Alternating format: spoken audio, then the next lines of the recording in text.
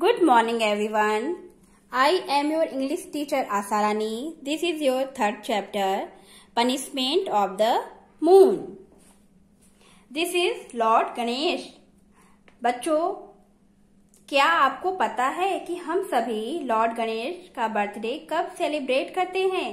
चलिए मैं बताती हूँ। हम सभी लॉर्ड गणेश का बर्थडे गणेश चतुर्थी वाले दिन सेलिब्रेट करते हैं। बच्चों एक बार लॉर्ड गणेश अपने वाहन मूसक पर बैठकर अपना बर्थडे सेलिब्रेट करने के लिए धरती पर गए। वहाँ पर भक्तों ने तरह तरह की मिठाइयों का भोग चढ़ाया था। बच्चों, लॉर्ड गणेश को सभी मिठाइयों में सबसे ज़्यादा मोदक, जिसे हम लड्डू भी कहते हैं, पसंद था। लॉर्ड गणेश ने पेट भरकर मोदक खाया। शाम हो गई। अभी तक वे खाते रहे। आसमान में चाँद निकल आया। अब लॉर्ड गणेश को घर जाने की याद आई। लॉर्ड गणेश खाने के बाद इतने ज़्यादा भारी हो गए थे कि उनका वाहन मूसक उन्हें बैठाकर चल नहीं पा रहा था। तभी अचानक उनके मार्ग पर एक स्नैक आ गया।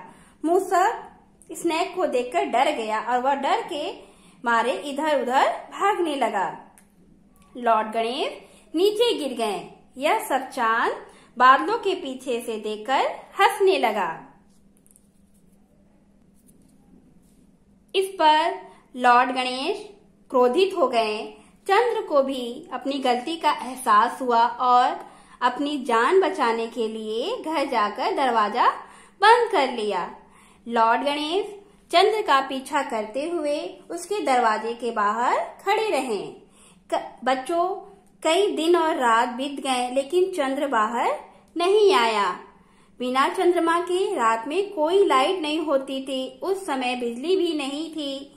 सभी लोगों ने परेशान होकर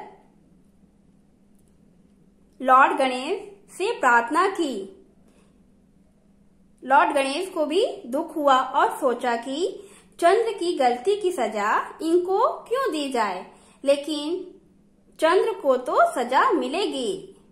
इसके लिए लॉर्ड गणेश ने एक समझौता किया और चंद्र को बुलाया और कहा कि तुम्हें मेरे बर्थडे पर हंसने की कीमत चुकानी पड़ेगी। तुम थोड़ा थोड़ा करके बढ़ोगे जब तक कि पूरा गोल नहीं हो जाते और अगले पंद्रह दिन के लिए तुम थोड़ा थोड़ा करके घटोगे जब तक कि तुम गायब नहीं हो जाते। बच्चों, जब आसमान में चाँद पूरा दिखाई देता है तो उसे हम पूर्णिमा कहते हैं। और जिस दिन चाँद नहीं दिखाई देता, उसे हम अमावस्या की रात कहते हैं। I hope children you understand this chapter very well okay thank you